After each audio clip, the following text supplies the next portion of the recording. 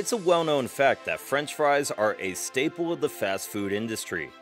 But have you ever stopped to wonder how they make it into your fast food bag?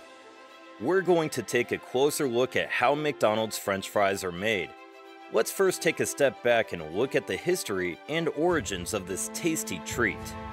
French fries, also known as chips or frites, are a popular food made from thinly sliced pieces of potato that are fried until crispy and golden. The origins of this crispy indulgence are a bit disputed, but it is generally believed that they originated in Belgium in the 17th century.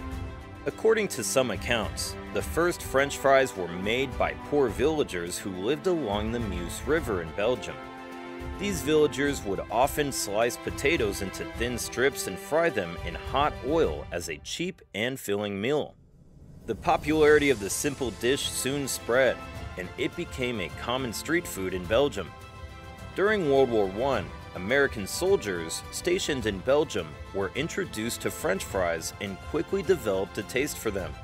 They brought the idea back to the United States, where they were soon being sold in restaurants and cafes.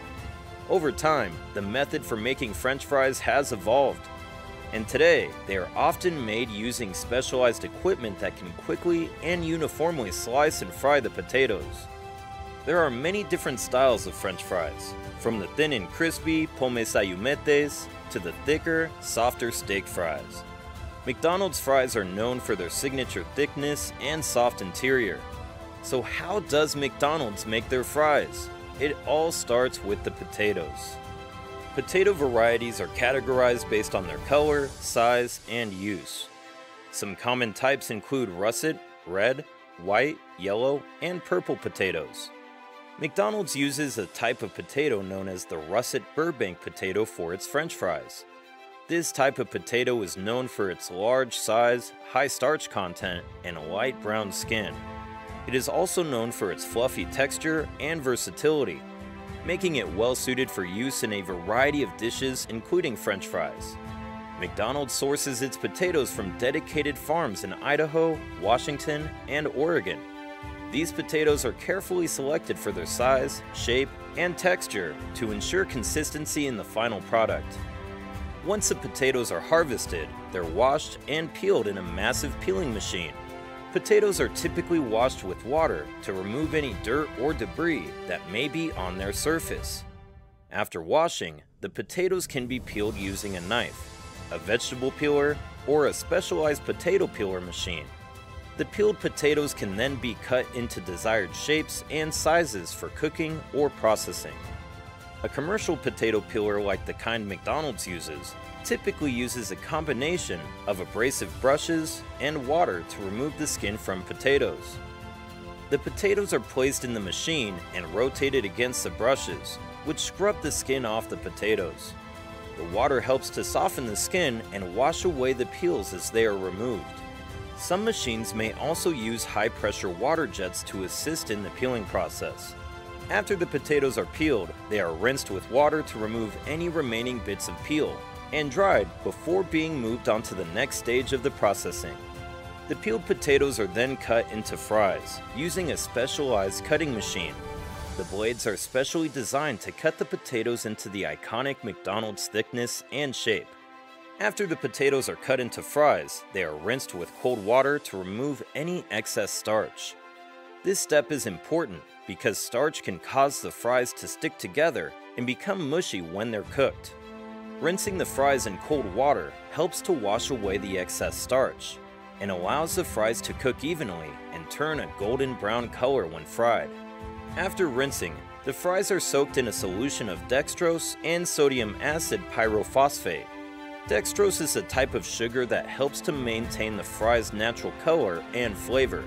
Sodium acid pyrophosphate, also known as SAPP, is a food additive that prevents fries from turning gray or brown when they are cooked. Soaking the fries in this solution helps to keep them fresh and flavorful. And it also helps to maintain their attractive appearance.